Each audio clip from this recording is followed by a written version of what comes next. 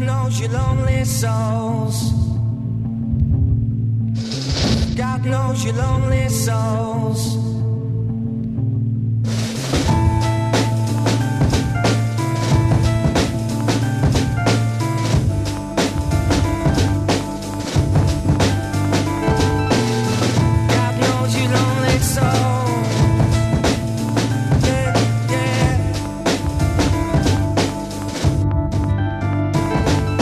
Believe there's a time and a place to let your mind drift and get